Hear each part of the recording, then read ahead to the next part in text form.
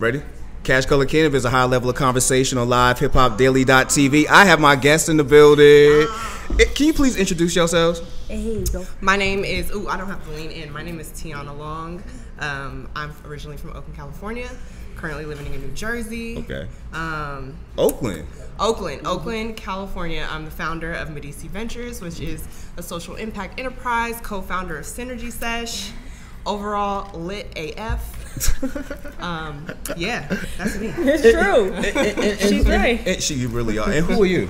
My name is Shalise Sistah Rogers. I, it's weird because like there's a mic here, but hello everyone. I'm Shalise Sistah Rogers. Sure, we have people here. I'm from New York, however, um, by way of Trinidad, and I am a youth pastor. I'm also the founder of Sistah Rogers. It's a, a faith based social enterprise. Yeah. Uh, we focus on uh, basically community organization. Um, community organizing for cannabis enterprises and then also for like any civic and social agencies things like that but i'm excited to get into this All right, me too, me too. Because the first question I want to know is how did you find your, how did both of you find your way into cannabis in the first place? Like, was there actual a chance that you actually tried it before, or you just this was just something you was curious about? That's a very, I mean, how can I give y'all the short version? Um, I've grown up in Oakland. I've been around cannabis my whole life. Um, Wakanda. Uh, you're right, Wakanda forever. Um, and so I went to I went to um, Oaksterdam, which is Cannabis University out in uh, California, around 2012, uh, when Colorado was you know talking about legalization recreationally. I was like, okay, there's something happening here. I want to understand a little bit more. Um, but I was working in finance at the time, and it just didn't make sense. Um, I was doing a lot of community work. Um, like I said, I worked in finance and tech, and uh, there came a there became a time when I was uh, working with my brother's keeper out in San Francisco, and I realized that there was just something wrong with the political system, right? The way that funds would flow from the government down into communities, Yeah. something wasn't right. So I decided to go get my master's out in New York. And when I did that, I decided I'm going into cannabis full time because California had just legalized recreationally. Yes. And I knew that it was going to change the dynamics of just the way we live. And me being like a community organizer, community builder, I knew that underserved communities were going to suffer and I needed to understand more about like how these intersections worked. Yeah. Mm-hmm. And so in 2016, I dove into cannabis full time as I was, you know, doing my master's program and really aligned everything that I was doing in that program with how cannabis was going to affect the world. That's what's up. How did you find it? Uh, mainly through a family member who was sick and then um, learning more about cannabis. After that um, really started to going to like these meetups and events in 2017 so summer 2017 is when i really was like okay i'm really interested in this there were all these different events things like that um, and then one event that was in jersey city um, it was the first latino or yeah it was Yeah, the first Latinx. yeah, it was the first Latinx, Latinx. and then fully Spanish speaking um, cannabis event in New Jersey. And when I went there, I met TiYanna for the first time, Yep. And here we are. That's what's up. That's so. That's how you two met. You actually met at an event. Yep. So at that event, you you decided. Well, how did you figure out that you, maybe y'all should you should actually go on and try to work together? Well, so we we knew we knew a lot of people in the space because the cannabis industry on the East Coast is very very small. Yeah. And so uh, it's not recreational. It's only medical in New York and New Jersey. And so there's a movement happening right now on the East Coast with obviously legalization. Yes. Um, and so being in that community, we started working together just because we had like a similar passion for community development and and ensuring that people of color that look like ourselves are able to get into this space. Yes. And so it has kind of been like a year of us just being around each other and brainstorming and continuing to just be in this community and and our ideas really aligned with how we wanted to kind of go about this because we both do have our own companies but you know you're stronger together. And so we figured out Synergy Sesh. And, and speaking of Synergy Sesh, because I was able to be blessed to be part of the um, the inaugural Synergy Yes. Sesh, and and it was brave of you to take it on during Essence Fest, because again, doing an event during an event is actually kind of hard. You know what I mean? Yeah. Like you would think because there's people down there, people would just come, but that's not always the case. Right. Um, speak to us about you know just one how the concept of Synergy Sesh came about, and what made you want to take it to Essence to kick it off.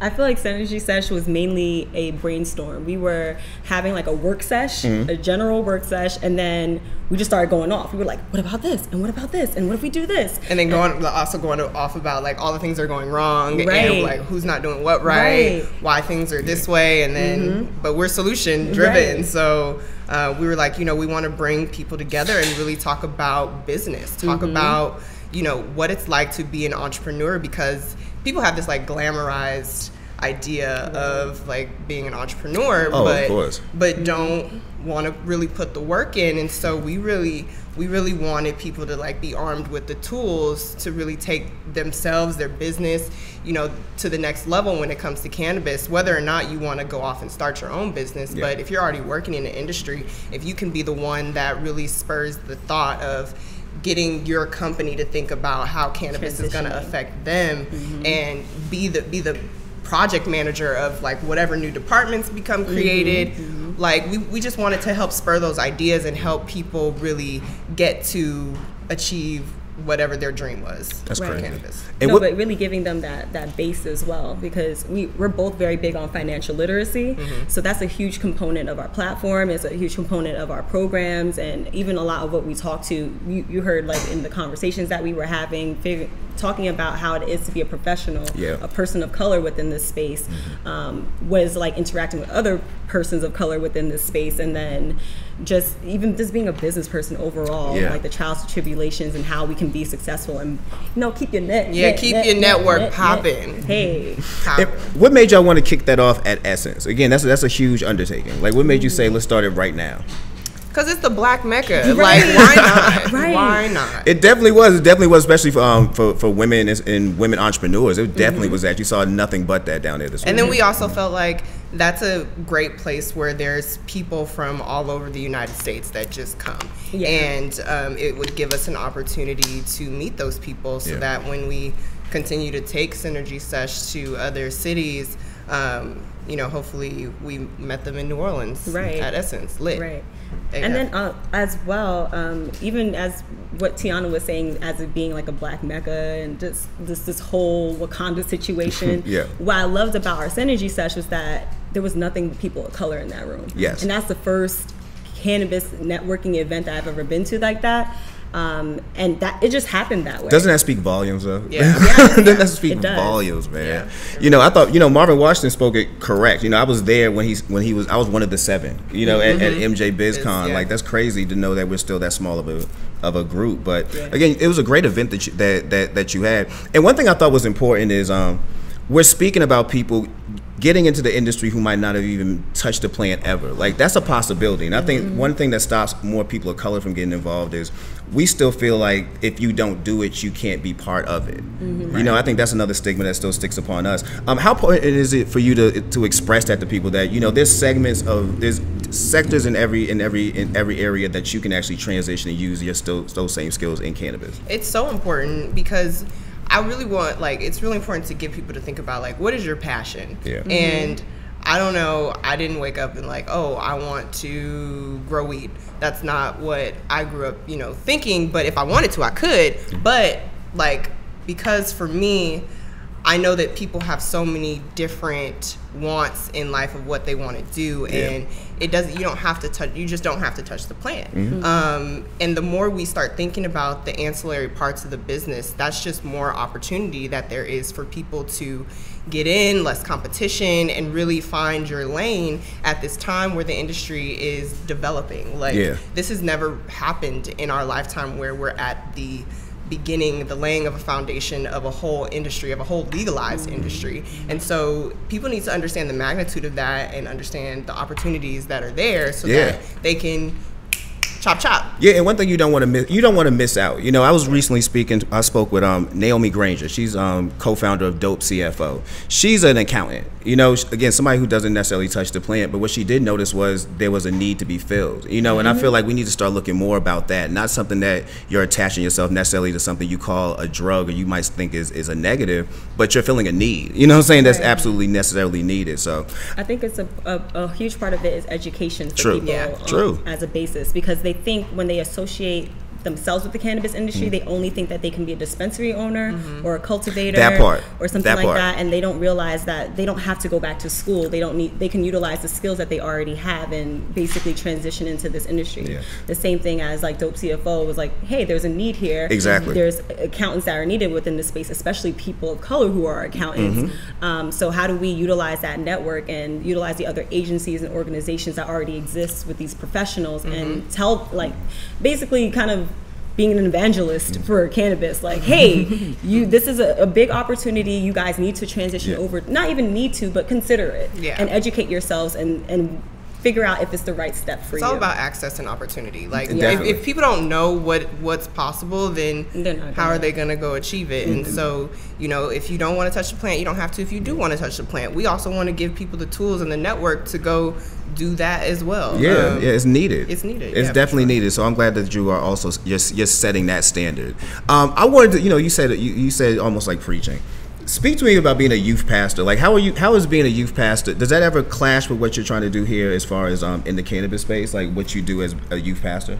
So I will bring it back to something that we touched on during Synergy Sesh, is, Okay. which is making sure that as people of color within this space, we are very mindful of the way that we're represented Mm-hmm. outwardly, especially at these events where people are consuming, and making sure that we are not looking like them. Yeah, Um, I, I feel like there's no like kind of way to say that, and I'm I'm very much militant and like post Mecca Malcolm in my approach to life. Um, post Mecca. but almost pre Mecca Malcolm in some ways. So when it comes to being a youth pastor, Mm-hmm. when they appointed me to that role, um, I brought the the bishop and the leader of the church together, and I was like, "Hey, sit down. I need you. I need you guys to know like what I do outside of this space." Um, and when I told them, they funny. they real it's like they already knew. It's like real quick. Let me talk to you Right, and they're just like, yeah, you know, that's fine. And I'm like, well, this is my beliefs on it, and this is, you know, like this is where I see the community and the community that we're in because I I'm from East New York, Brooklyn, and my church is in Brownsville, Brooklyn. So Yeah. shout out to Brownsville, East New York, Brooklyn. All no, we ain't, we ain't, we ain't, we ain't clapping that. Yes, we. yes, we are. Yes, or I'm here for that. Um, but that neighborhood is really rough and is undergoing gentrification. Yep. And with that, and this whole cannabis conversation happening in New York, it's really important that these churches who have really big congregations engage in this conversation. They have the, the bigger the congregation, the more the pol- the politicians start to listen to them. Of course. How hard of a sell is that though? oh, it wasn't. to black churches, like honestly, because I've thought to Oh, myself, even, even, even, yeah, exactly. Like how hard of a sell is Yeah. that? So there are a few. Um, I find that the bigger the congregation, especially when they have like a large uh, young adult and youth following, Mm.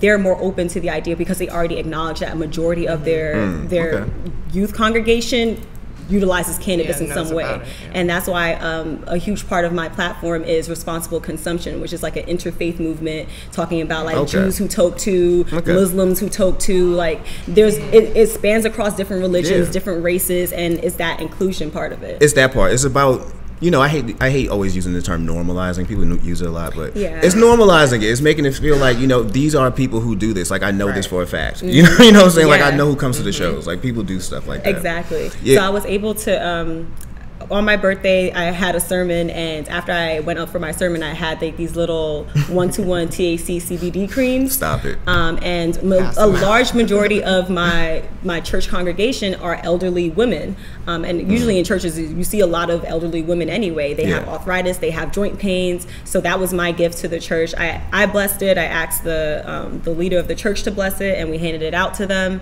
and that just opened up the conversation for them in a different perspective. That's good. You know, I, I, I almost want to talk my mom. I see my mom's getting arthritis. I want to talk her into using like topicals and stuff, but I know she ain't with it.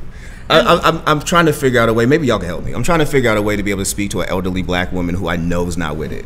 Like, how do I do this? You mm. you really gotta just like explain it, like really mm-hmm. break it down, give her mm. something to try, like Yeah.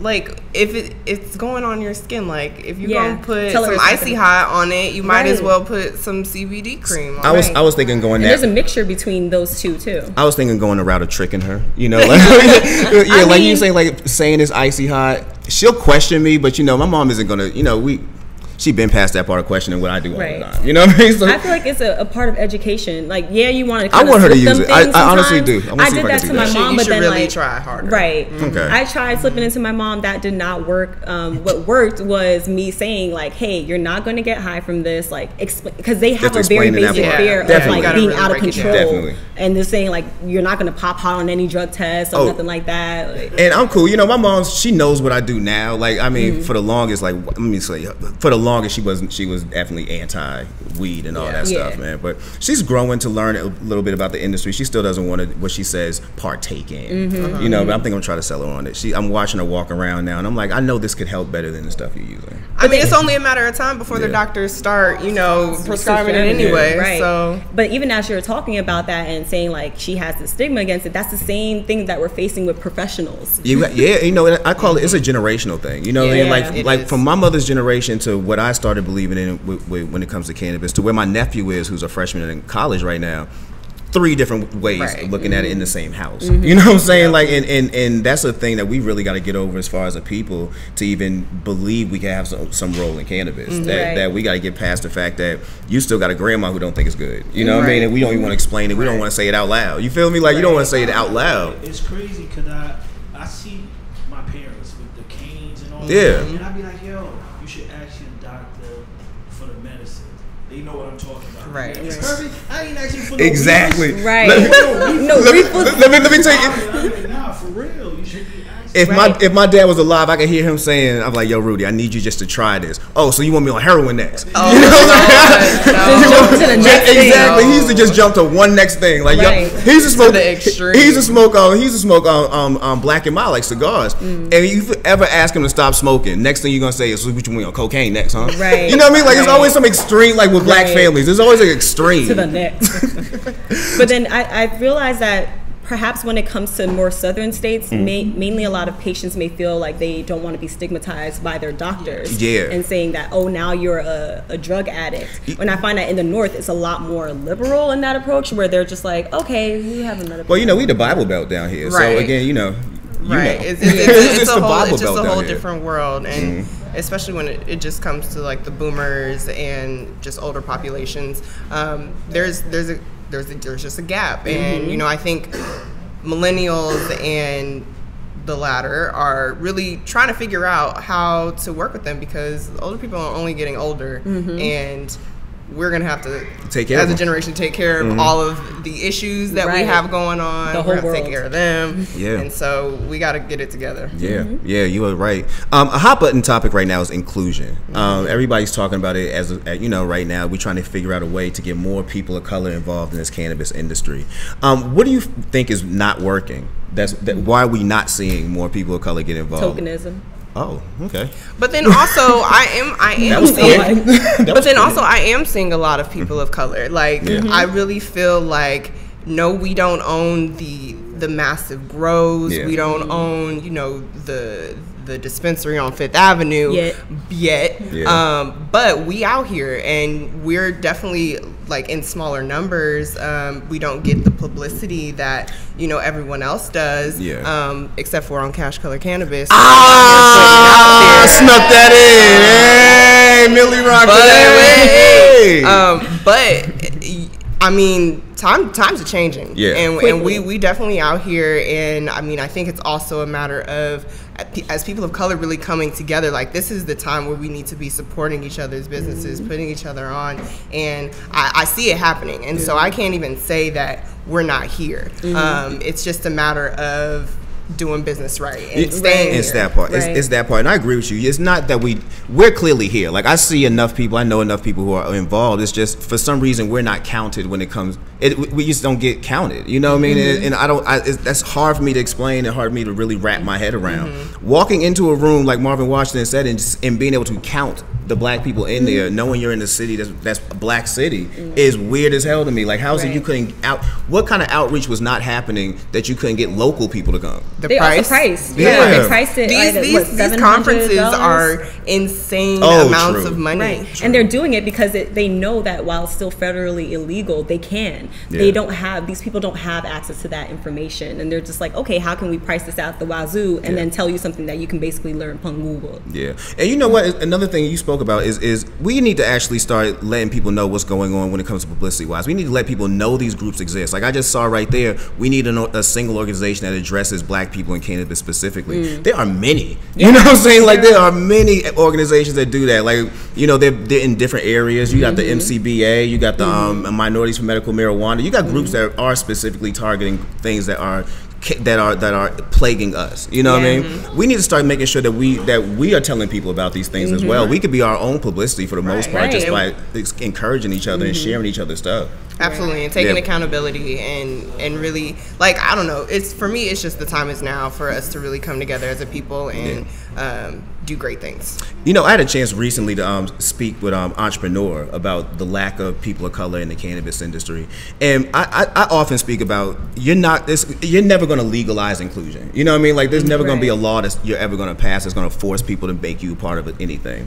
But the one thing you can do is take control of your voice. You can take control of your image, and I I see too many times.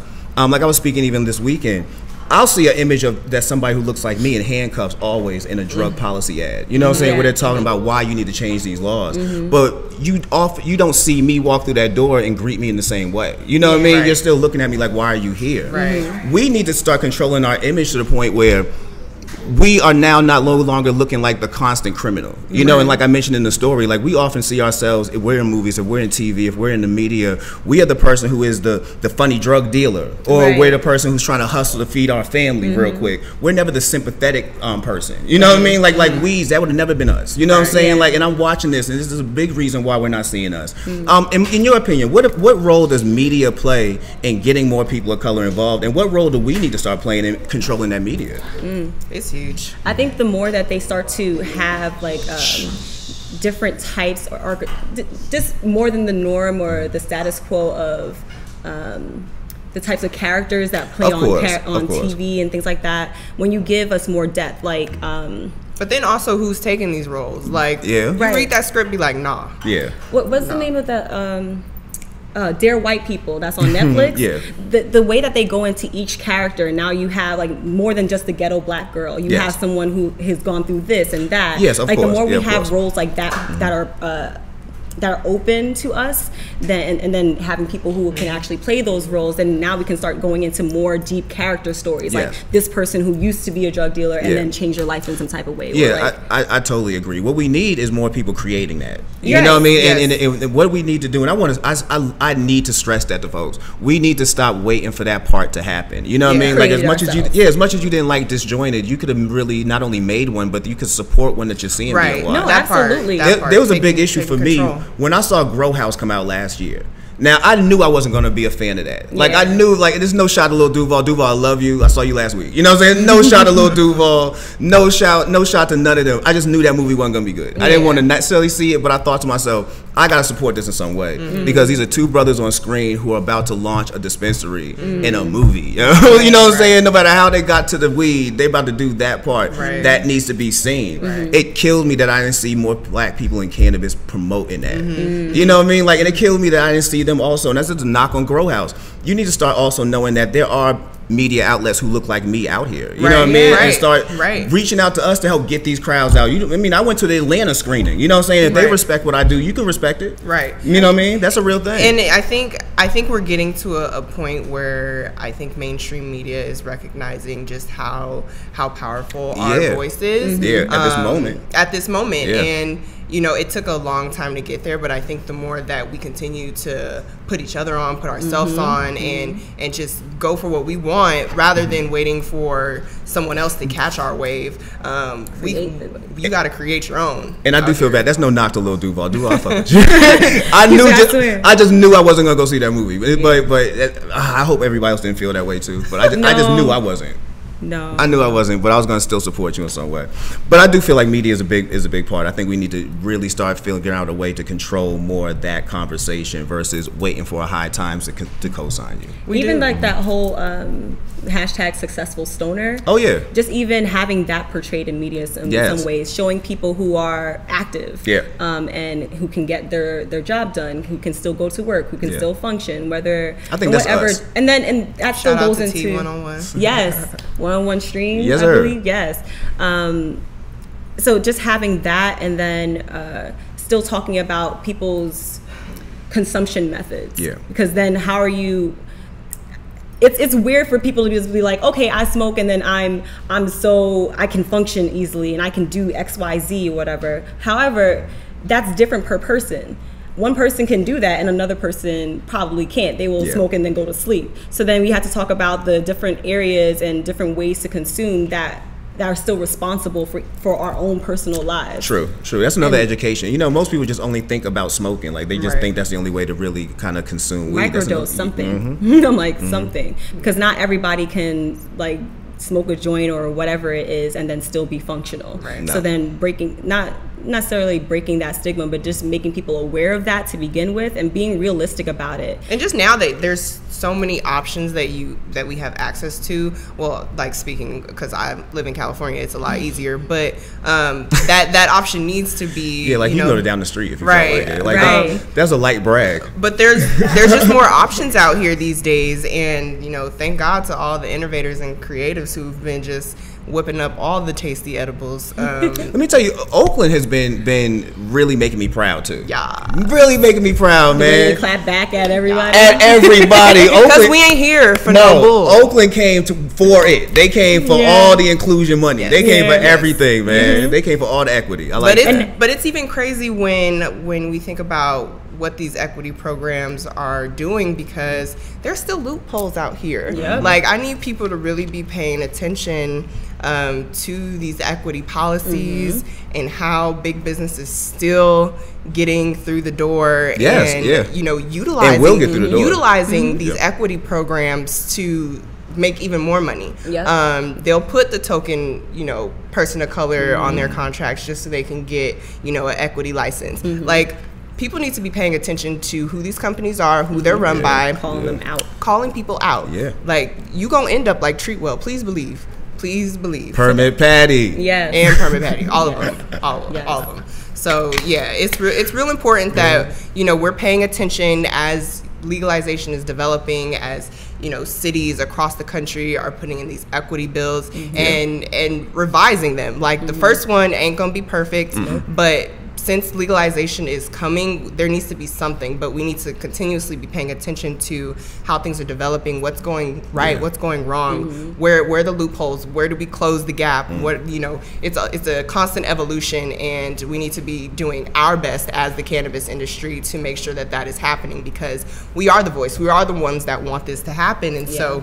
If we want it to happen correctly, we need to be paying attention. Like just because it gets legalized, that's not the end of the. Yeah. That's not the end of the road. It's, it's not even close to the end of the road. And you know, sometimes I get nervous with legalization, Mm-hmm. especially when I see the, Trumps of the world and the John Boehners of the world get involved. Man. That like that bothers me, man. That, cre- that creeps me out. But that lets you know that sh- they flipping. Yeah, and it's Right. weird, man. I, I just can't get. I don't know. And it brings the importance of uh, civic engagement True. to the front over True. and over again. True. You can't just be the advocates who are advocating for things because not all advocates have True. the True, I agree. the well-being of the community in mind. Right. Yeah. So it's on the community and the people within there that want to change, that don't want a dispensary dropped in the middle of their hood That part. to say something about I, it. I think that cannabis, more than anything, will create a conversation amongst um, black communities and Latino communities, where you're going to start seeing people take more active roles and, Absolutely. in, like you say, civic duties and in politics and local politics more. There are people, again, like my mom, I, loves me to death. I don't want no dispensary in Mattapan. Right. You know what I'm saying? You don't Like- have a you don't have a proper like grocery store. Yeah, If you exactly. don't have a proper She would say things like Right. that. Mm-hmm. If you if your school system sucks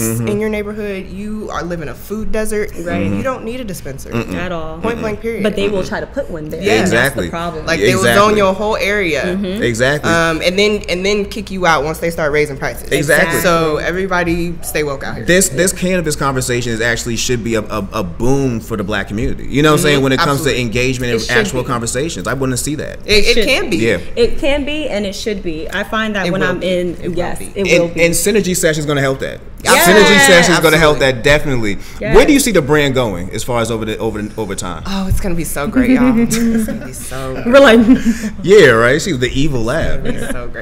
Um, so we have a lot coming up. Um, we have two more that we're doing this year, but Synergy Sesh. So the one that we had in New Orleans was a part of our intimate networking, Networking series. series. Okay. Um, and so that is going to be happening. Um, We'll, so we'll do the two this year, the other two this year, and then it'll happen over like two months next year because it's really a place for us to bring together entrepreneurs that are really wanting to get going and like ready to start their start their Yes. businesses, uh, start their projects, and so we need the rest of the year to actually like work on like Yeah. work with these people. You can't you can't really do all of that work if you're throwing events every month. Right. Um, and then so we have the intimate networking series. Um, we're going to be launching uh, four to eight week courses for entrepreneurs. Okay. um, So we're in online courses. 2019. Um, Okay. We have retreats coming. Uh, yeah, and then we're, we're going to be at different symposiums and seminars, and so there's there's a lot there's a lot. I see why through they had the evil Sesh. laugh. Yeah, yeah, I there's see a why lot the evil flowing laugh through came. Synergy. right um, and i think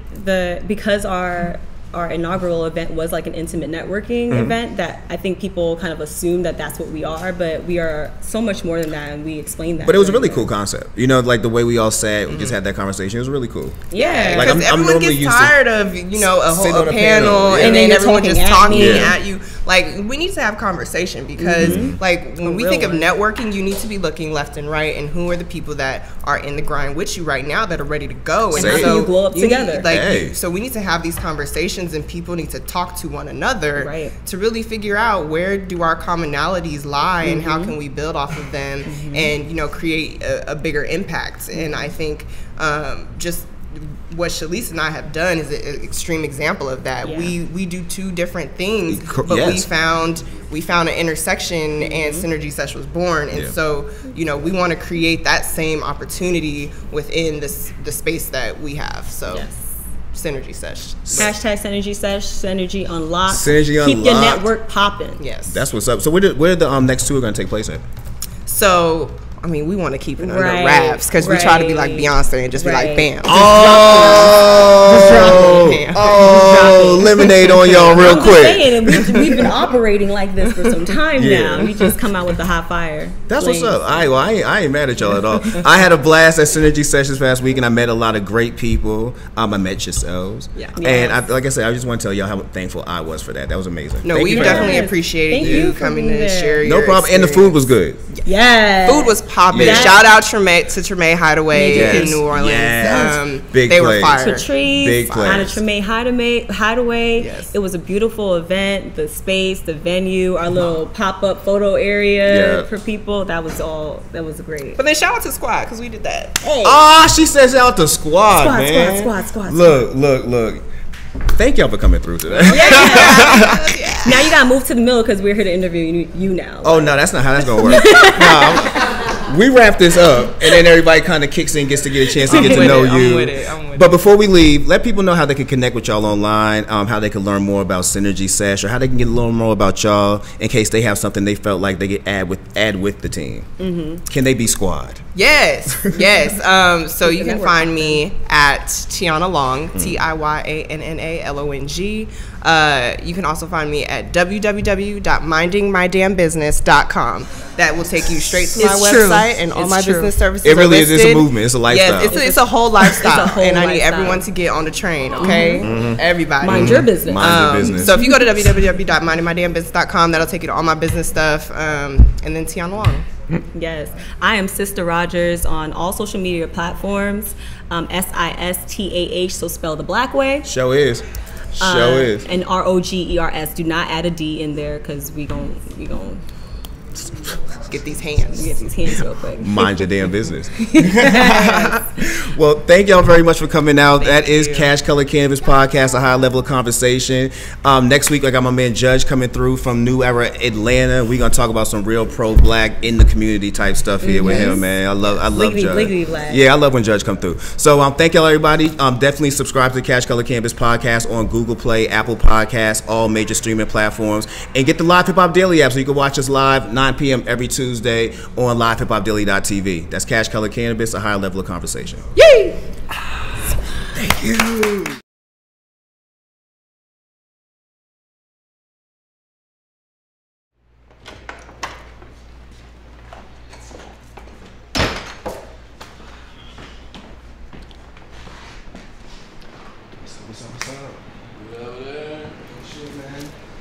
One more day in the stew. Oh, what's good? What's up? Hey, um, for everybody who's this is your first time, this is Live Hip Hop Daily Studios.